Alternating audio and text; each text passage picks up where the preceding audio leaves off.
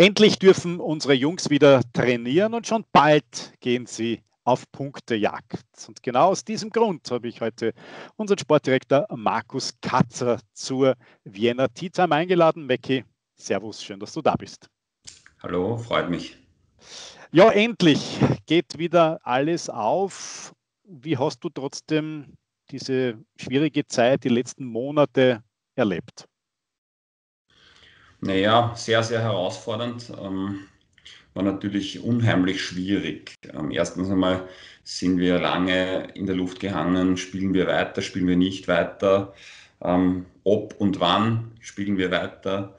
Ähm, ja, somit war es halt auch dementsprechend schwierig, was die Planung betrifft. Ähm, was machst du mit den aktuellen Spielern? Was sagst du denen? Wo spielen wir in welcher Liga? Wer würde in der Wiener Liga noch weiter spielen oder sich dann verändern wollen? Also das, das war schon herausfordernd, schwierig. Ich glaube, wir sind trotzdem ganz gut drüber gekommen, auch gerade im, im, was das Training betrifft. Wir haben über 400 Einzeltrainings gemacht, ähm, also im Rahmen der, des Erlaubten haben wir uns da immer bewegt und ähm, ich glaube, dass die Spieler, das merkt man jetzt schon nach den ersten Tagen, einfach wirklich in einem tollen und guten Fitnesszustand sind. Und ähm, ja, das stimmt mich optimistisch. Es wird weitergespielt, ähm, obwohl es jetzt gerade regnerisch ist, aber die Sonne scheint über die, über die hohe Warte. Wir, wir sind froh, dass wir trainieren dürfen, dass wir wieder Fußball sieht und äh, auch spielen dürfen und freuen uns jetzt auf die letzten Runden. Wie geht es dir persönlich? Wie hast du die Zeit bestritten? Auch nicht so einfach.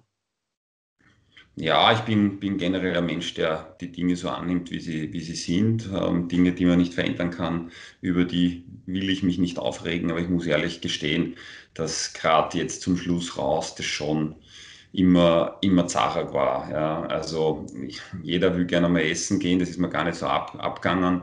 Ähm, Im Nachhinein jetzt schon ein bisschen, also wenn ich jetzt in ein Restaurant gehe, merke ich schon, wie, wie schön das sein kann.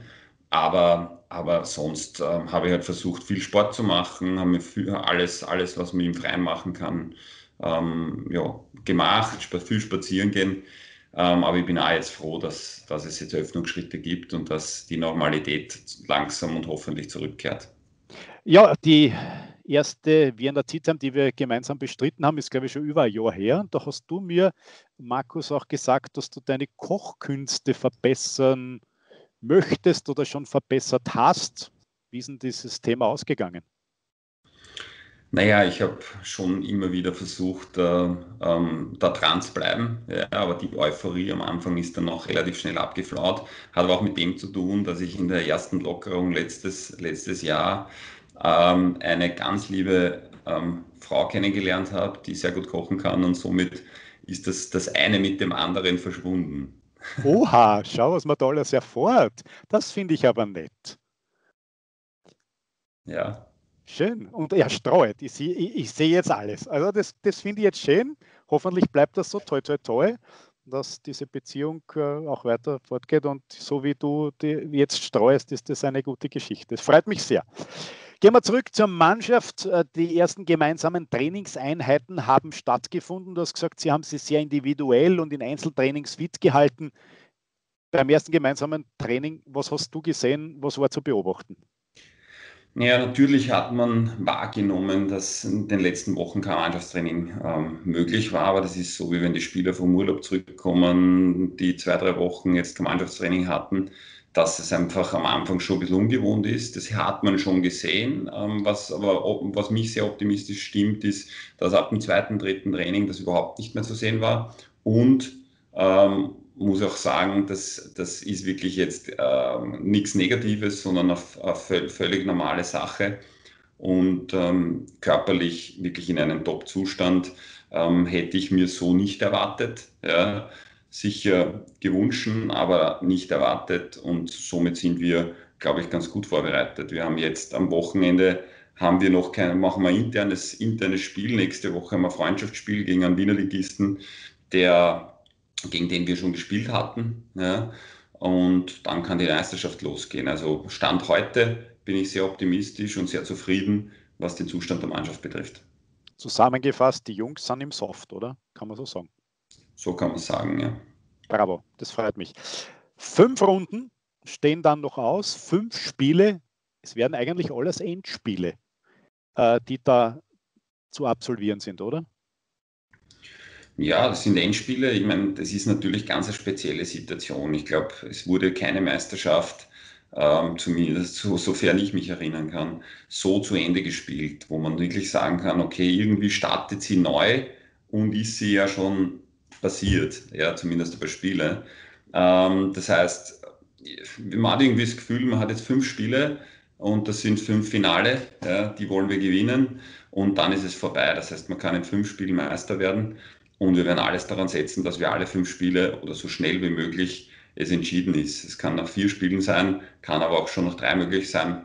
Ähm, ich glaube, ähm, dass, wir, dass wir gut vorbereitet sind und dass wir diese Finale ja, auch gut und erfolgreich spielen werden. Unser Kapitän hat dazu gemeint und hat es am Punkt gebracht, lasst uns beenden, was wir angefangen haben. Ein Philosoph auch der Hirschi, habe ich gar nicht gewusst, aber es klingt gut, oder? Klingt gut, da hat auch recht. Ja. Drei, zumindest drei Heimspiele haben wir auf alle Fälle. Wie wichtig werden die Fans sein bei diesen Endspielen?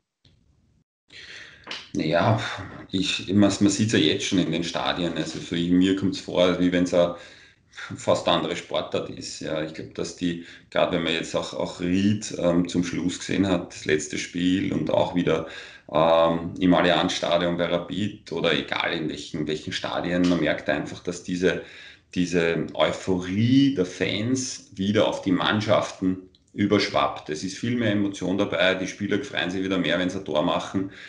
Also Fans und Fußball gehört einfach, also Fans gehören einfach zum Fußball dazu und dementsprechend wird es auch wichtig sein für uns in den Spielen. Also ich freue mich schon riesig drauf. Ich glaube, dass die Jungs dann ähm, doppelt und dreifach motiviert sein werden, wenn auch Leute im Stadion sind, gerade bei unseren tollen Fans und ähm, ich bin mir ganz sicher, dass schon einigen wirklich, dass sich schon einige Fans richtig, richtig freuen auf die Spiele und dass auch ähm, ja, wir ähm, also wir auch darüber, da, dadurch auch über uns hinauswachsen können, beziehungsweise auch diese letzten Prozentpunkte zu, zu unserem Erfolg beitragen können.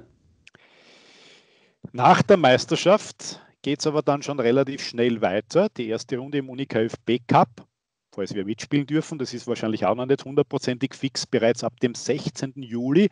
Und dann geht es ja schon hinein, hoffentlich, hoffentlich, da drücken wir alle Daumen und, und, und alles, was wir äh, zur Verfügung haben, dass es dann auch die Regionalliga Ost ist. Auch da startet die Meisterschaft relativ bald. Wie schauen da die Planungen im Detail aus? Du hast schon gesagt, du hast mit Spielern reden müssen. Wie schaut es aus? Bleibst du? Wie kannst du das vorstellen und so weiter? Aber gibt es da schon einen kompletten Fahrplan bis dorthin, bis zu den, zum Start in die neue Saison? Ja, so wie ich es am Anfang schon angesprochen habe, ist es natürlich wirklich schwierig, ähm, erstens einmal mit den Spielern, den Spielern Perspektive zu geben, die wir schon haben. Aber das sind sicher auch die ersten, mit denen wir sprechen werden. Wir haben schon Gespräche geführt, gerade im Frühjahr, wo wir im Februar, März, wo wir, wo wir eigentlich davon fix ausgegangen sind, dass wir weiterspielen werden. Das ist natürlich dann ein bisschen eingeschlafen, weil die Angst vor einem Nicht-Weiterspielen dann immer größer wurde. Ja, ähm, dasselbe gilt jetzt auch mit Spielern, die wir die wir vielleicht äh, dazu holen wollen, um die Mannschaft wieder zu verstärken. Regionalliga ist doch ein anderes Niveau, das wissen wir. Wir wollen da wieder eine gute Rolle spielen oder sehr gute Rolle spielen und dementsprechend muss man sich auch darauf vorbereiten. Macht es natürlich schwierig, weil was sage ich ein Spieler, der zu uns kommen soll, in welcher Liga das wir spielen. Fix ist es noch nicht. Ja, wir gehen alle davon aus, aber wir müssen uns erst unsere Hausaufgaben erfüllen und das sind die fünf Siege in den in den, in den, in den letzten Spielen, die wir noch ähm, für diese aktuelle Saison ähm, fertig spielen müssen. Ähm, das macht schwierig, aber wir sind voll dabei, wir sind gut vorbereitet, wir verbringen äh, jeden Tag ähm, zehn Stunden damit, uns, uns Videos anzusehen von potenziellen Spielern, die uns verstärken könnten. Das machen wir gerade, wir führen Gespräche ähm, mit unseren Spielern und mit Spielern, die wir vielleicht dazu holen können also die Vorbereitungen laufen und wir konzentrieren uns voll auf Vorbereitung Regionalliga. Ich muss probieren, auch wenn du jetzt alles äh, sehr, sehr, ich sage jetzt mal abstrakt dargestellt hast, gibt es aber irgendwas Konkretes, was Namen und so weiter betrifft, kann man da irgendwas schon verraten? Nein, kann man gar nicht. Also wir haben noch keinen Spieler neu verpflichtet. Ähm, wir haben mit ein paar Spielern schon im Februar und März ähm, ähm, gesprochen, aber nur was die Regionalliga betrifft. Aber das war, das war, das betrifft die Spieler, die wir aktuell im Verein haben. Wir wollen, was ich verraten kann, ist, wir wollen so viele Spieler wie möglich halten. Sie haben es richtig gut gemacht. Man hat auch im Cup gesehen, dass wir einfach eine richtig hohe und gute Qualität haben. Das ist den Spielern zu verdanken. Das hat gut funktioniert, aber auch dem Trainerteam, das muss man auch sagen, was hervorragend funktioniert hat. Das kann man auch an dieser Stelle einmal ansprechen. Viele, ähm, ja, ähm, ähm, viele Stimmen waren da, was den Trainer betrifft. Ähm, aufgegangen ist es aber voll, so ehrlich muss man sagen. Und ähm, dementsprechend, glaube ich, werden wir gut gerüstet in die, in die neue Saison starten. Aber wie gesagt, es ist uns auch wichtig, viele Spieler wie möglich zu halten. Und das geht sich alles in der Zeit aus, weil es ist ja verdammt knapp. Das sind, da reden wir ja nicht von Monaten, sondern eigentlich bald von Wochen.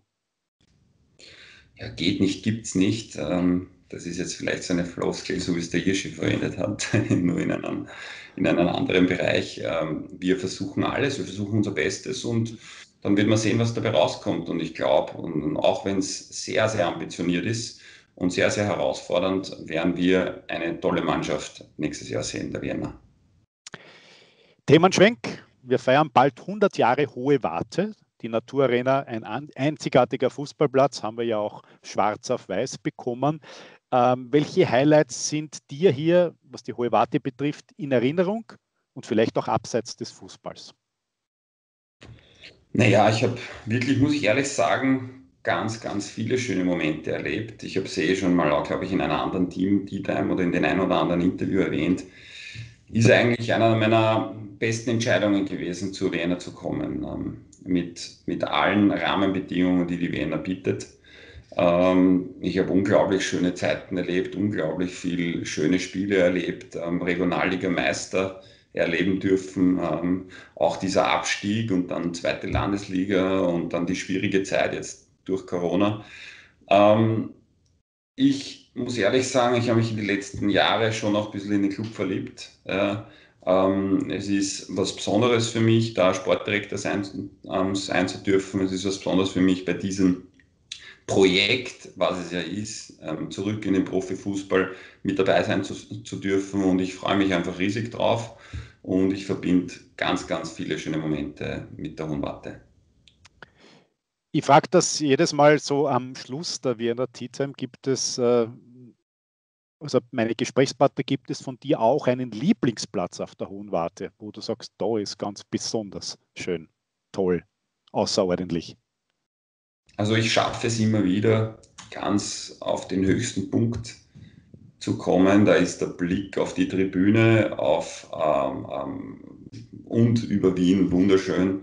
Ich glaube, wenn man sagen kann, das ist der, es gibt einen schönsten Punkt, dann ist es wahrscheinlich für mich, also ist es für mich dieser. Das ist ein gutes Stichwort, weil wir haben heute schon im Vorfeld in der Vorbereitung ein bisschen darüber geplaudert, ob wir die Wiener Tea Time, wenn wieder alles offen ist, nicht in einer anderen Form aufzeichnen können. Und der Platz da oben erscheint uns natürlich als herausragend. Und wenn wir das technisch schaffen, könnte das auch eben der Platz für die eine oder andere Wiener Tea Time in der Zukunft sein. Markus, wir haben ähm, die Mannschaft ähm, beleuchtet. Wir haben die, die 100 Jahre hohe Warte äh, beleuchtet. Gibt es noch irgendwas, was du noch ergänzen möchtest jetzt ähm, so auf die Schnelle? Vielleicht doch ein bisschen ein Appell, dass die Leute tatsächlich kommen und die Mannschaft unterstützen? Naja, ich glaube nicht, dass ein Appell notwendig ist, weil ich mir ganz sicher bin, dass die Wiener Fans schon richtig brennen auf die ersten Spiele. Aber ich mache trotzdem einen. Also ich freue mich auf euch, auf die Fans im Stadion wieder.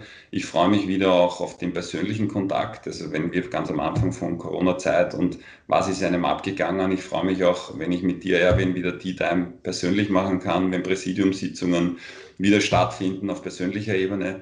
Und ich freue mich auf, dem, auf das persönliche Treffen der Fans bei uns im Stadion und hoffe, dass sie uns tatkräftig, und das weiß ich auch, unterstützen werden, dass wir das, den Sack zumachen und in die Regionalliga aufsteigen.